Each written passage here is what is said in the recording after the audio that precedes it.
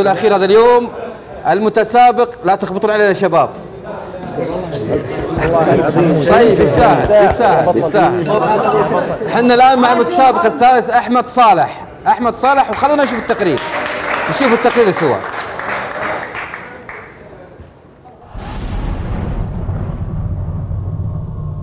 السلام عليكم ورحمة الله وبركاته.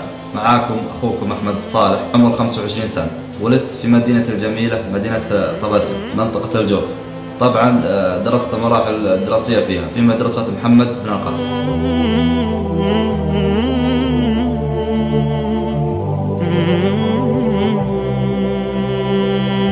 بين الشقاوة والمرح واللعب. أحببت كرة القدم ولعبتها وكان يقولون عني أني لاعب لي مستقبل باللعبة ولكن ما استمريت فيه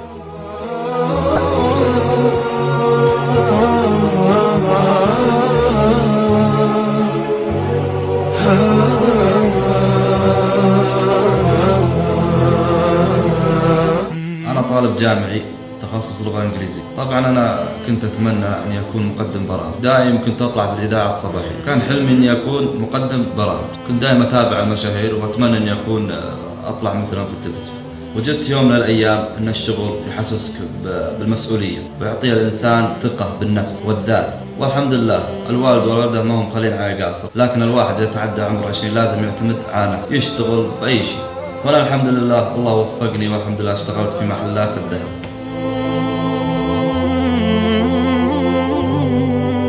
والآن لي قرابة خمس سنوات أعمل. تعرفت على مهنة فيها كثير من الحرفة والأسرار. اللي ما كل شخص يعرفها.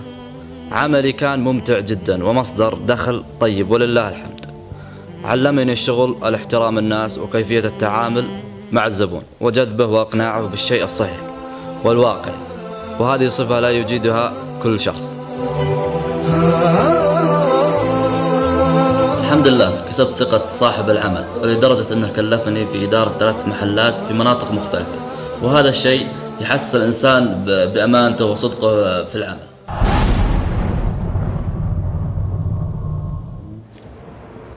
مرحبا بكم أيها المشاهدون الكرام. نرحب بكم في ثالث أيام زد فرصتك في يومها الثالث. هذا البرنامج الجماهيري الضخم.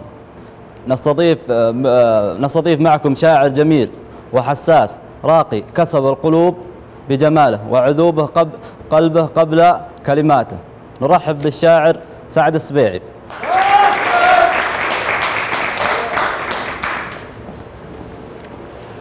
يا مرحبا. السلام عليكم ورحمة الله وبركاته. حياك الله. طيب. بسم الله تبارك الله. في البداية نود منك تعرفنا عن نفسك أكثر. سعد عبيد السبيعي العمر 28 سنة. شاعر أحد متسابقين برنامج زد فرصتك. في بداياتك في الشعر وهل تتذكر أول قصيدة أو بيت كتبته؟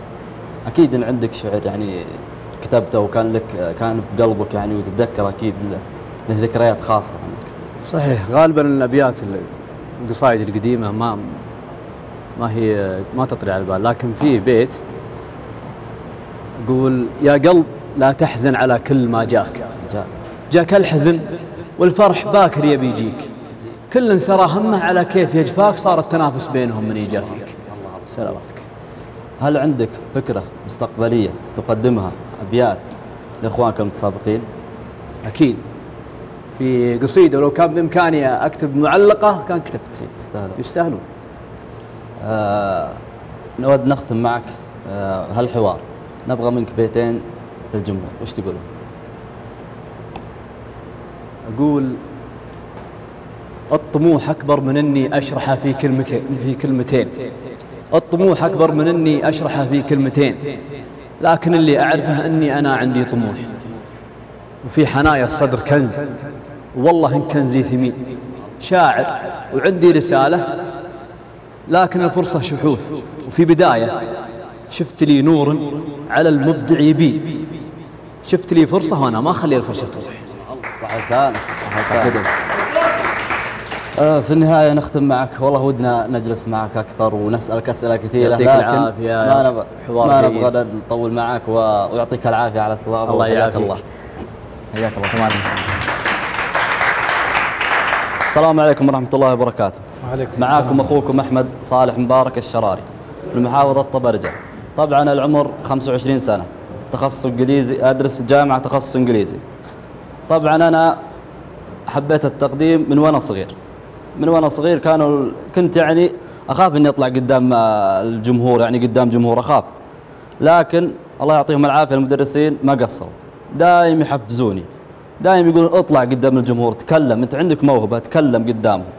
والحمد لله أول يوم طلعوني جبت موضوع وأشوف الناس شادوا بي. يعني الأساتذة والطلاب كلهم يقول ما شاء الله عليك ما شاء الله عليك. جبت لنا معلومات جبت لنا كذا. الحمد لله قلت اليوم الثاني ليه ما أطلع؟ وأجيب معلومات أحسن. والحمد لله جبت معلومات اليوم الثاني. واليوم الثالث الحمد لله تميزت بالابتدائي. وكذلك المتوسط بادرت وطلعت بكل المحافل اللي كنت أطلع فيها الحمد لله وكنت متميز. والحمد لله هذا الحمد بعد الله ثم اللي حولي واللي شجعوني على هذا التقديم والحمد لله لكن كنت كانت عندي الثقة مهزوزة وقلت لازم أشارك في برنامج زد فرصتك. والحمد لله الله وفقني وشاركت بزد فرصتك. وبإذن الله أني راح أطلع الخوف مني وأكون قدام يعني الجمهور أطلع عادي عندي ب- بأي شكل يعني ما ما كان قدامي أحد الحمد لله لكن والحمد لله حفزوني كل اخواني الموجودين اللي معي الحمد لله والله يعطيكم العافية. طبعا طبعا أنا طبعا أنا بهذا البرنامج أتمنى أني أطور موهبتي وهو موهبة التقديم. وأكيد في من آه، في البرنامج هذا فيه مذيعين وفيه مقدمين. أكيد إني أكسب منهم الخبرة وأكيد إنهم يعلموني إيش الصح وإيش الغلط. والحمد لله تعلمت منهم وكلموني واخواني المتسابقين فيهم المقدمين اللي ما كلموني وعلموني بالشيء الصح وبالشيء الغلط. وهذا شيء حفزني أكثر إني أقدم وأتعلم أكثر. فبإذن الله طموحي إني أكون مقدم برامج. وإذا الله أراد ودخلت هالباب هذا إن شاء الله إني أطور من موهبتي. وفي المستقبل إن شاء الله إني راح آخذ دورات عن التقديم. وأطور من الموهبة هذه وأطلع قدام الجمهور يعني بأي شكل وأتكلم قدامهم بشكل عادي يعني. وهذا وصلى الله عليه وسلم. ما شاء الله ما شاء الله. يعطيك ألف عافية. ما قصرت ما شاء الله. نبدأ بالتوقيع الإعلامي وبعدها إن شاء الله تعالى نعلق. الله يستر. تفضل اختار موضوع. إن شاء الله يكون سهل. الجار. الجار وما أدراك ما الجار. هذا الجوال بين يديك. عندك نص دقيقة فكر قبل ما تبدأ. السلام. عليكم ورحمة الله وبركاته. الجار. وصى الرسول عليه الصلاة والسلام بسابع جار. جارك لا تأديه بأي شيء. وحاول انك تساعده بكل شيء. وحاول انك توصيه بالصلاة وبكل شيء. وانك لازم تشوف احتياجاته في أي حاجة. هذا صلى الله عليه وسلم. ترى ما أشوف الدقائق ما أدري. خلاص ما يطلع لك وقت. بس هو كان إلى النص أقصى حاجة وانتهينا. أوكي ماشي. طيب بسم الله الرحمن الرحيم. لا تفضل على المسرح. باقي باقي. هالمره أنا أبدأ أستاذ سعيد. تفضل تفضل.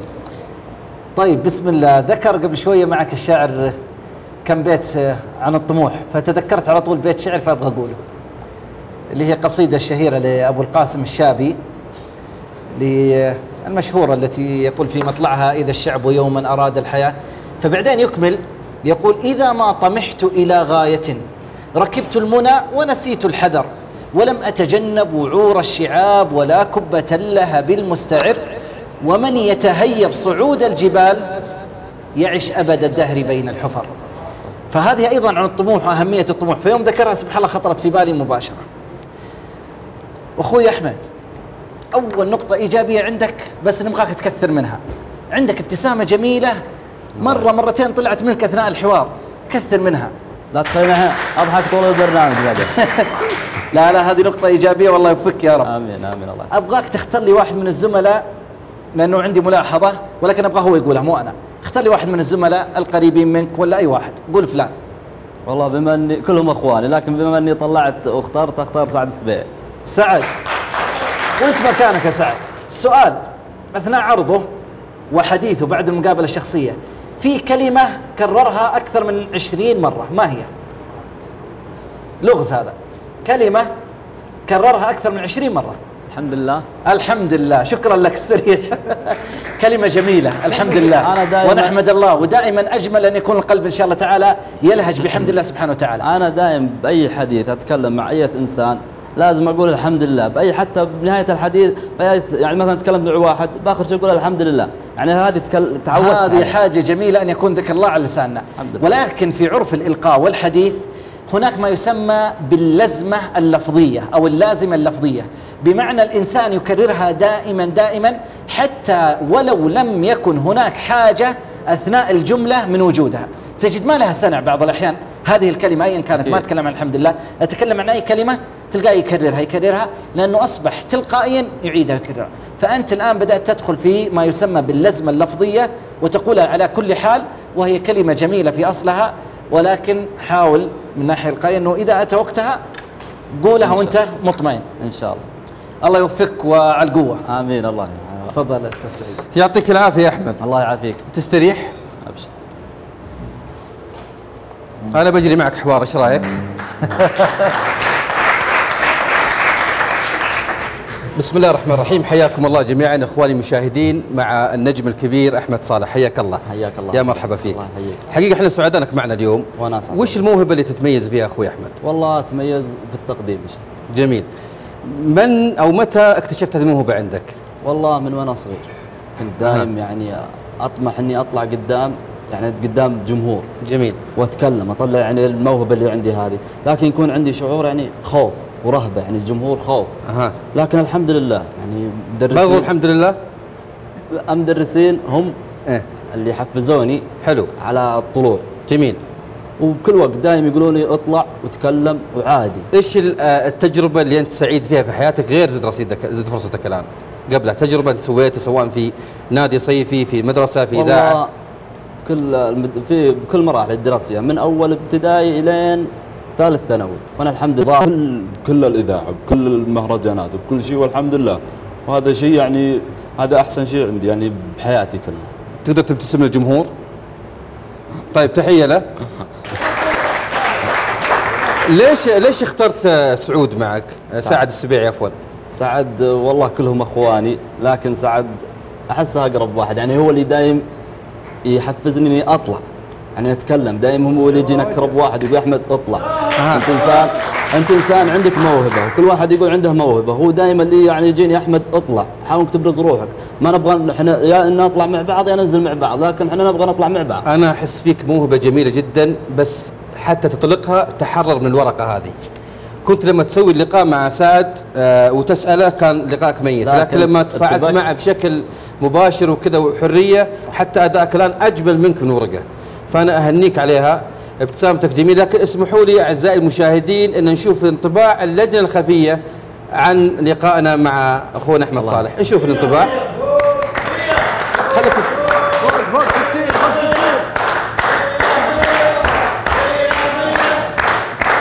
على فكرة اللج- الانطباع هذا ما يأثر في تقييمنا. بس نشوف. والله تغييركم هذا. إيه، ما شاء الله. 22 طيب. أحب أقول لك يا أحمد آه، 22% اللجنة الخفية بس عندي أنا أنا أعطيك إلى 90 فوق 90% الله يسلمك. يعطيك العافية وشكرا لكم وخلونا ننتقل وإياكم إلى فقرة آه، زد مهارتك مع الأستاذ ماجد الغامدي. تفضل يا أبو جعفر.